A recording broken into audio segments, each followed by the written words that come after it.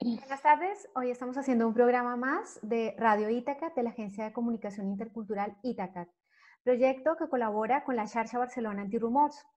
Y hoy tenemos con nosotros a Nadia Jaquín Fernández, ella es doctora en Ciencias Sociales y eh, es la creadora del proyecto Mine Academia, y mm, bueno, hoy está aquí para explicarnos este proyecto porque justo en esta época llevamos ya casi un mes eh, encerrados en confinamiento debido al COVID. Eh, creo que mm, lo que nos propone mm, Nadia nos podría servir muchísimo. Buenas tardes, Nadia. Buenas tardes, Omaira. Gracias por la invitación. Encantada de estar por aquí. Bueno, pues nos gustaría que nos explicaras cómo surgió Mine Academia. Sí, eh, bueno, Mind Academia surgió eh, por, eh, bueno, un poco a raíz de mi paso por la universidad y durante, bueno, muchos años siendo investigadora, bueno, primero estudiante de máster, después estudiante de doctorado y durante mucho tiempo investigando, me di cuenta de, de, ciertas cosas que tenían bastante margen de mejora en la universidad y entre ellas, pues, cómo se cuidaban los procesos de trabajo eh, por ejemplo, desde el momento en el que te piden, bueno, una investigación, un escrito de cierta envergadura hasta que lo puedes entregar, pues qué pasa entre medio. Eh, me di cuenta que esto pues seguía siendo una caja negra dentro de la universidad, para lo cual pues eh, teníamos muy poquito apoyo y pues mi idea con Mind Academia en cierta forma es abrir esa caja negra y ofrecer acompañamiento y herramientas para bueno, la gente que está haciendo mm, proyectos por escrito, que pasan también por un proceso, bueno, de investigación muy personal y, pues poder llegar a, esos productos escritos sin morir en el intento, digamos. Exacto. Precisamente cuando comenzó el confinamiento, uno, uno de, mis compañeros me comentó que eh, para alguien que estaba haciendo una tesis, eh, ya sea una tesis de máster, una tesis doctoral, realmente la vida no iba a variar mucho, ¿no? En este confinamiento, porque mm, realmente se tenían que dedicar muchísimas horas a estar realmente encerrado, concentrado, haciendo lecturas y escribiendo. Entonces, cuéntanos un poco mm, cuáles son este tipo de herramientas que, que, tú brindas desde Mine Academia. Bueno, por un lado, digamos que la forma final en la que yo ofrezco esta, este apoyo eh, son por un lado asesorías individuales eh, para las personas que lo necesitan, que necesitan más aclarar una hoja de ruta eh, o desenredar un nudo fuerte, digamos, en ese proceso de escritura de la tesis o de un artículo o incluso de trabajos de final de máster. También, también he trabajado con gente que está haciendo el máster em, que se complementan muy bien estas sesiones individuales con unos grupos de escritura que se llaman Calla y Escribe, que son una vez a la semana y tienen, bueno, varias ventajas, entre ellas, eh, bueno, trabajar en conexión con otras personas, eh, claramente con mi facilitación a nivel metodológico y de organización un poco de, cómo transcurre la sesión, pero es un espacio eh, compartido Mm, en el que pues eh, un poco se ponen en común dificultades y también avances y sobre todo pues lo que hacemos es atacar mm, problemas muy concretos de escritura, de planificación del tiempo, eh, de autoorganización en general. Y pues más allá, digamos, de también estas sesiones de calle y escribe, estoy haciendo talleres específicos para un poco abordar mm, problemas eh, que tienen que ver con la autoorganización y la, la escritura últimamente. Sí. Sí, precisamente yo reconecté con Nadia porque nos conocimos hace como en el 2008, 2009 más o menos, que yo estaba haciendo mi, mi máster y nos conocimos en el CIDOP eh, en torno a la escritura de un artículo sobre interculturalidad. Y, mm, y conecté con ella porque precisamente, eh, bueno, a través de LinkedIn empezó a, a, promocionar estos talleres de calle y escribe, ¿no? En los que yo hice como un pequeño tastet, ¿no? Por así decirlo. Y, y, es, y es, realmente es como, mm, te, da la posibilidad de escribir en compañía, de, sobre todo en estos días donde cuesta mucho obtener una rutina y, y estar mm, y, llevar un proceso de escritura en soledad también. Eh, siempre sirve muchísimo este acompañamiento que tenemos a través de, de estos grupos, ¿no? En el que se utiliza, eh, bueno, eh, llegó la promoción a través de, de, de, los, de hacer pomodoros, ¿no? es, una, técnica que yo ya conocía, pero que no es lo mismo hacer un pomodoro yo sola y que me lo ponga con el app o, con el reloj o simplemente, sino como ese compromiso de, estar al, otro lado de la pantalla, personas que también tienen una serie de, de compromisos, dificultades y también que con pequeñas conversaciones también uno puede conectar y puede ayudar sin pensarlo a, este trabajo diario tan complejo. Totalmente. Eh, totalmente. Y realmente me da, me da, un poco, me abres la puerta que explique de qué se tratan estos Pomodoro, ¿sí? Eh, que en realidad son un complemento a las sesiones de Calla y Escribe, que son estas eh, sesiones más de, de, escritura, que son semanales. Los Pomodoro son conexiones que hacemos cada mañana el que puede o la, o el que pueda se conecta y la idea es arrancar el día eh, de forma pues muy enfocada. Se llama Pomodoro porque viene de una técnica de bueno, un ingeniero italiano que, que se inventó que trabajar de forma, mm, eh, bueno, sin distracciones durante 25 minutos, descansando 5. O sea, tú puedes dividir una hora entre 25 minutos de trabajo enfocado, 5 descansando, 25 enfocado y 5 descansando, hace que mm, le permitas al cerebro pues eh, procesar la cantidad de información que estás procesando mientras trabajas y sobre todo darle los respiros que necesita para poder mantener esa concentración en periodos largos de tiempo y, viene súper bien en épocas de, bueno, esta era que nos toca de, distracciones y de internet, porque realmente te, te, obligas un poco en compromiso con otras personas a eh, hacer un trabajo pues sin distracciones durante un periodo cortito de tiempo. Entonces esa es una de las ventajas, además que te permite arrancar el día pues con buen pie, enfocándote en las cosas que son importantes para ti y eh, no dejarte marcar, digamos, tu día por eh, obligaciones que te vengan de muchos lugares, por lo general el, mail, ¿no? Cuando uno empieza el, el, día leyendo el correo electrónico, pues puede pasar que, te dispersas y, realmente nunca le dedicas esa atención a las cosas que son realmente importantes para ti. Eso es verdad. Y además hay otra relación, se establece otra relación con el tiempo cuando haces estos pomodoros. Eh, ya sea que descanses cada 25 minutos o, cada 50, ¿no? Por ejemplo, eh, estableces como, bueno, cada minuto que, que, vale realmente lo estoy aprovechando, realmente estoy concentrada y como que obviamente la mente se distrae, como, como dices bien tú, Nadia, en esta época que todo es dispersión, eh, de pronto se me va el ojo para otro lado y, y de pronto eh, digo, no, no, un momento que tengo este compromiso, estos 25 minutos, que dice la intención, ¿no? Porque es interesante estos grupos que, que, organizas, eh, porque realmente lo que uno al, comienzo del día lo que, lo que establece es una intención, ¿no? Y, una intención que la, la, la dices en voz alta, la compartes y, recuerdo también, por ejemplo, hay uno de los grupos con una de las chicas que recuerdo como sus intenciones y recuerdo cuáles han sido sus metas y a pesar de que han pasado varias semanas le he preguntado, bueno, ¿y qué, cómo vas con esto? ¿Ya has acabado este, este capítulo? ¿Cómo vas con esta lectura que dijiste que tardarías 10 horas, ¿no? Como cosas de estas. Desde pronto, al otro lado, eh, esta otra persona se sorprende y dice, ¡wala! Pero qué buena memoria que tienes. Eh, que, bien que te explico cómo voy, ¿no? Entonces también le permite a uno como ir trabajando acompañado y saber que al otro lado eh, no se sabe dónde, porque nunca hemos preguntado dónde estamos, eh, hay alguien que te acompañe, que te escucha, ¿no? Entonces, eh, imagino que también eso es, también es parte como de esta facilitación que tú haces, ¿no? Esta escucha como tan, como tan personalizada, ¿no? Que haces, que es un poco lo que, lo que he podido yo intuir por lo que en, las sesiones que he estado? Sí, claro. Digamos que todo el trabajo que yo hago eh, se centra, yo diría, en tres cosas diferentes. Por un lado es este parón de, de, reflexión para realmente asegurarnos de que lo que estemos haciendo tenga sentido, un sentido vital, profesional sin duda, pero sobre todo eh, que tenga sentido en algo pues más amplio que no solo cumplir obligaciones o eh, estarle respondiendo a otras personas, ¿no? Esto es súper importante. Por otro lado, mm, creo que nadie nos eh, enseña realmente a escribir y a tener confianza eh, en nuestras propias ideas.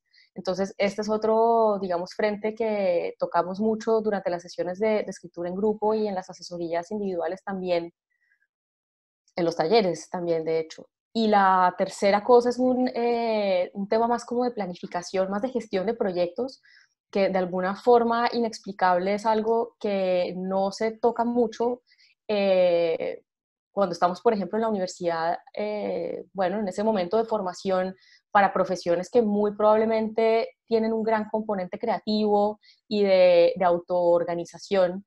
Em, digamos que es una de las cosas que, que, yo sufrí mucho durante mi propio doctorado, ¿no? De, de no tener mm, tal vez eh, objetivos claros a corto plazo que me hicieran el día a día más llevadero y que tuviera pues una sensación de, de estar bien encarrilada y no esta sensación de estar perdida constantemente, ¿no?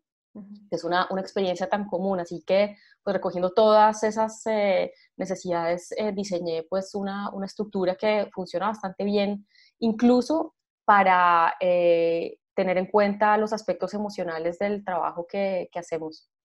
Exacto. Eso me lleva a pensar como a muchos memes que relacionados con las personas que están ahí, ¿no? Como haciendo, haciendo su tesis. Pero también me hace pensar en algo que ya habíamos hablado anteriormente, y es como la importancia del proceso y del aprendizaje que se tiene en este proceso, en, en, en, en este caso, en, un proceso de escritura de una tesis, eh, y que muchas veces no, no, tenemos este acompañamiento, no se le da importancia a ese proceso, y, y una persona como tú o, o, un proyecto como Mine Academia es vital. Eh, y me hace pensar también en, estudiantes eh, que, que, tienen como su tiempo ultra limitado, que vienen aquí eh, digamos, como con mucho sacrificio, con una beca. Pienso, por ejemplo, en, estos estudiantes de América Latina, eh, que, que, bueno, que muchas veces no, tampoco tienen como ese acompañamiento, ¿no? Eh, no, no, solamente del proceso, sino un acompañamiento académico y cultural que requiere todo, todo, lo, que, todo lo, que, lo que dices, ¿no? También y emocional sobre todo.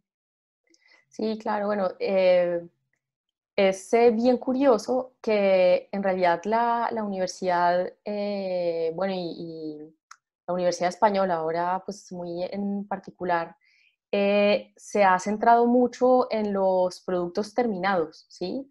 Yo, digamos, en este momento, bueno, llevo unos años viviendo en Madrid y es, digamos, la, la realidad que tengo más presente en este momento en la cabeza. Pero bueno, esa ha sido mi, mi, experiencia con la universidad en general y es que mm, de alguna manera se entiende que la persona que se matricula a un doctorado, a un máster, tiene que venir, digamos, de, de, su casa, en cierta forma, con las herramientas que necesita para poder llevar a cabo las cosas, eh, cuando es muy probable que la última vez que uno haya aprendido herramientas de escritura, lectura, síntesis, reflexión, etcétera, eh, probablemente vinieron de la época del instituto. Es decir, herramientas que uno aprendió para otros objetivos, que no se adaptan del todo a las exigencias que tiene, por ejemplo, un doctorado o eh, un proceso de, investigación y de escritura, pero pues que a pesar de eso mm, se dejan un poco a la responsabilidad del estudiante. Entonces, aparte de eso, eh, claro que lo he visto mucho en mi práctica profesional con Mind Academia, que hay un tema de que hay pues muchos estudiantes que eh, están introduciéndose a la cultura académica también como algo nuevo.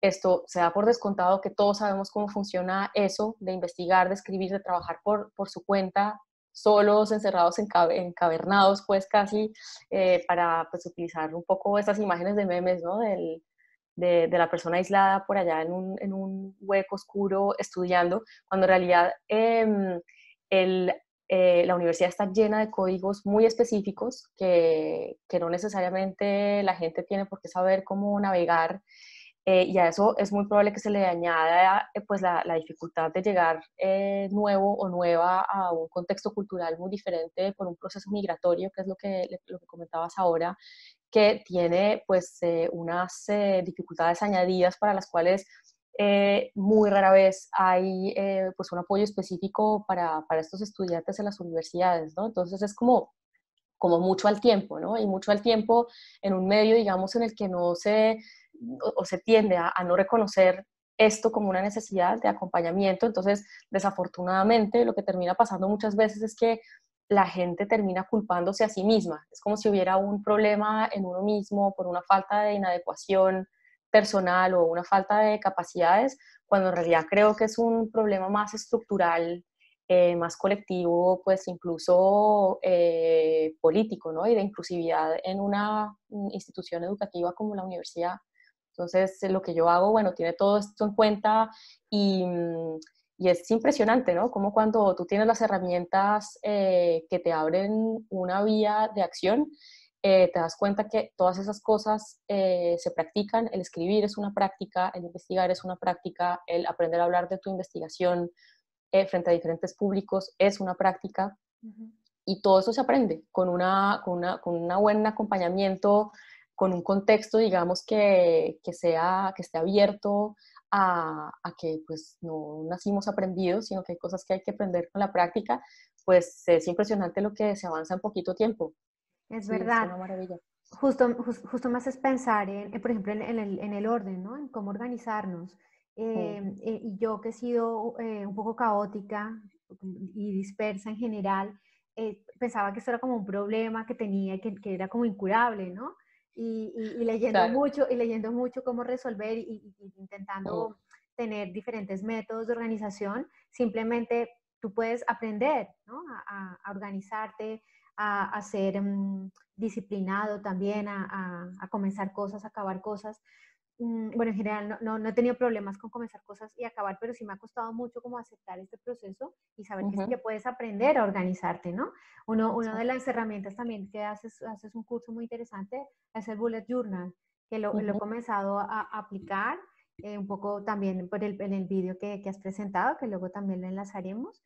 Eh, y también es, es una herramienta que además en este confinamiento me ha permitido también pensar realmente qué objetivos quiero y, que, mm, y, realmente eh, que, que, quiero dedicar mi tiempo, ¿no? Eh, y, bueno, creo, creo que también tenías algo que decir al respecto.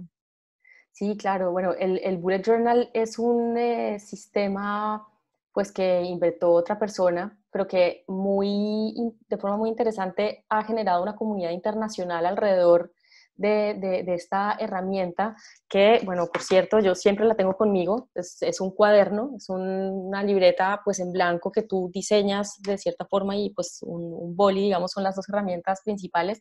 Y la otra cosa importante eh, con el Bullet Journal es que te permite un espacio de reflexión y de autoorganización muy flexible, muy adaptable a pues diferentes formas de pensar, de trabajar, etcétera, y que le deja un espacio al error, a la duda, a, eh, bueno, que los objetivos vitales van cambiando, cosa que en estos días de encierro y de coronavirus eh, es eh, especialmente evidente que hay momentos en los que hay crisis, crisis de sentido, donde los objetivos pues deben adaptarse, etcétera, y este sistema pues permite esa flexibilidad.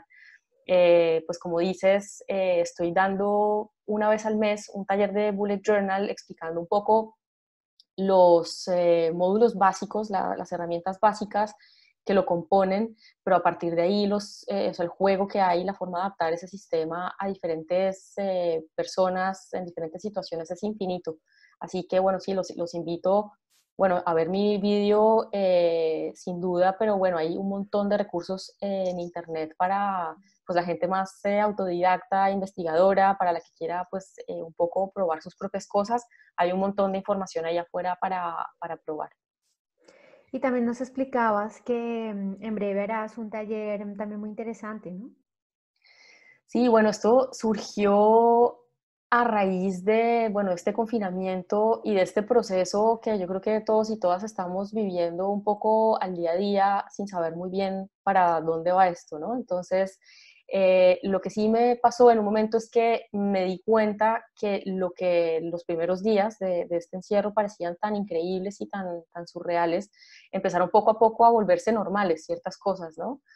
Y em, pensando en esto que estaba pasando, me entró un poco de angustia existencial de decir, bueno, ¿y qué pasa si a pesar de que nos damos cuenta de que hay un montón de cosas que queremos cambiar, no solamente a nivel pues eh, político, social, pero también en nuestras propias vidas, ¿qué tal que salgamos el día de mañana a hacer exactamente lo mismo, ¿no? Que digamos, eh, la inconformidad es un primer paso excelente, digamos, para el cambio, pero me di cuenta que, que pues por ser seres humanos, ni más ni menos, lo más probable es que si uno no concreta, digamos, eh, acciones que pues lo lleven uno a hacer las cosas de forma diferente, lo más normal es que pues sigamos haciendo lo mismo de siempre cuando tengamos otra vez la libertad de, movernos y encontrarnos, ¿no? Entonces, el taller es básicamente facilitar ese mm, parón, digamos, de reflexión eh, y la metodología es básicamente unas preguntas, unas preguntas que intentan encaminar, eh, encaminarnos, ¿no? A encontrar otra vez un sentido vital y profesional en, un momento de crisis como este. Eh, cada uno y cada una, digamos que responde sus propias preguntas, pero sí que facilito el contexto pues para que este parón de reflexión ocurra. Y esto será mañana, viernes, bueno,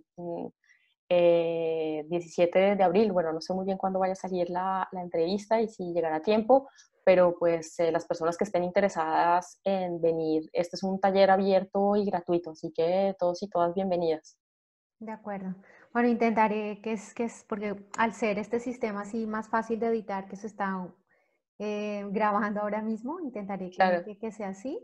Y, y, bueno, no sé si hay alguna cosa más que quieras agregar, eh, invitar a las personas que vean la web, es mineacademia.net, lo, lo colocaremos también en el, en el enlace en, la descripción del vídeo. Y, no sé si hay alguna cosa más que, nos quieras explicar, Nadia. Bueno, un poco eso, invitar a la gente a que eso, explore mi, web. En el blog van a encontrar bastantes recursos mm. Útiles para implementar eh, y, eh, bueno, un poco mm, ir organizando el día a día de trabajo de una forma diferente, con una actitud pues más eh, mm, optimista y un poco con la convicción de que, como te decía antes, todas las cosas son susceptibles de ser aprendidas y practicadas, así que ahí van a encontrar un montón de información. Los invito también a que se conecten con mi newsletter porque ahí voy anunciando oportunidades eh, de, talleres y de cosas interesantes que, voy anunciando mm, dos veces por semana, de hecho. Así que Bienvenidos y bienvenidas.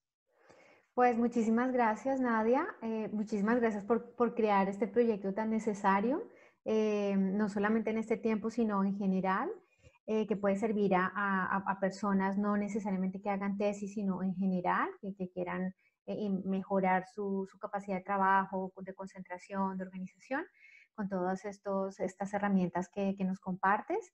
Y, pues nada, decirte que tienes aquí este espacio para, para cuando, cuando quieras comunicarnos nuevos proyectos o, nuevas ideas, que, que, también estás aquí súper invitada.